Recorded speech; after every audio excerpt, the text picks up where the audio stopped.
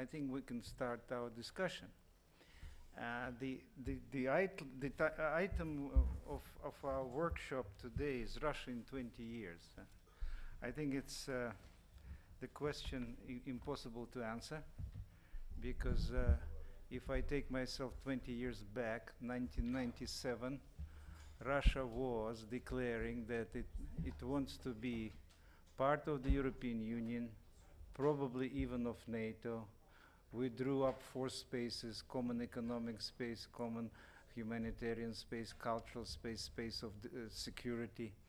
And we were on the way to very serious honeymoon. It started, it started in 2003 when pr new President Putin reconfirmed his European choice, went to Brussels to sign strategic uh, documents, and uh, it was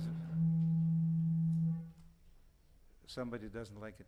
Uh, so in 97, so 20 years ago, to predict what, what is happening today in 2017 would be pretty um, difficult. So it's only the options and scenario kind of a development which we can discuss today. But there are some given. The given is the present situation, and in the short term, uh, Russia is uh, uh, coming back to the international stage. Uh, as yesterday uh, uh, during the Middle East discussion, people were rightly saying that Russia is back in the Middle East through Syrian case. Russia um, is strong enough to, to be present in many difficult and conflict situations.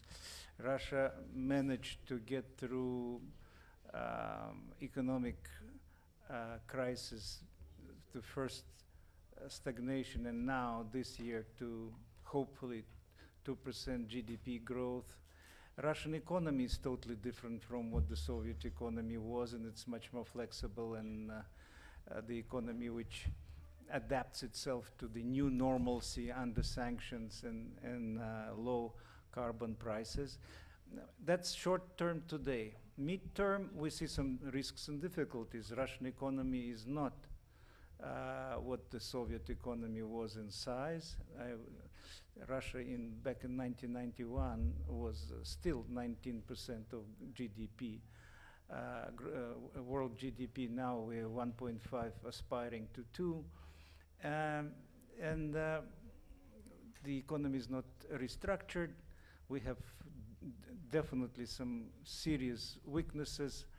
Uh, and uh, we should cut ourselves to, to, size in terms of our international aspiration and positioning.